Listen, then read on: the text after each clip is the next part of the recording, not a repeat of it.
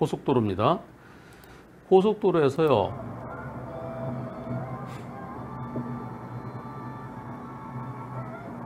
고속도로에서 저 차 왜 이렇게 붙어가? 저거 왜, 왜, 왜, 왜, 왜 차선 물고 가? 왜 저래? 이제 똑바로 가네. 어, 뭐야. 저 차 지나가니까 요게 날라오네, 요게. 자동차, 뭐예요, 저게? 자동차 undercover라 그러시던데요. 예. 저 피할 수 있나요? 여름 휴가를 보내기 위해 새벽에 고속도로를 달리던 중이었습니다.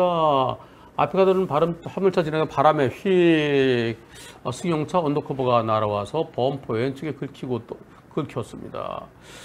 아, 이거 어느 차에서 떨어뜨린 건지 특정할 수 없다고 그러고 보상받기 힘들다고 그럽니다. 아이고 왜 이런 일이 저한테 일어났나요? 물렁한 재질의 플라스틱이라서 아, 이렇게 어, 사람이 다치지도 않았고요. 어, 또 뒤에서 오는 차와의 또 2차 사고도 없었고요. 참 다행이라 생각합니다. 만약 쇳덩어리였다면 큰 피해가 생겼겠죠. 쇳덩어리였으면 날라오지도 또 않았을 것 같은 생각도 들어요. 어, 다른 분들이 저 같은 상을 보고 어, 아, 빠른 신고로 빠른 신고로 2차 사고를 예방했으면 좋겠습니다. 라고 하셨는데요. 요거 불박차도 잘못이 있을까요? 앞차랑 좀 더 안전거리를 지켰더라면 하는 아쉬움 이제 있다 그러면 그거죠. 예, 앞에 저 차가 이렇게 가니까 지나간 다음에 어디서 날아오나요? 이게 날아오죠. 근데 날아오는 게 아니라 그 근처에 그 근처. 그 근처에서 이렇게 하다니 떨어지는 거거든요.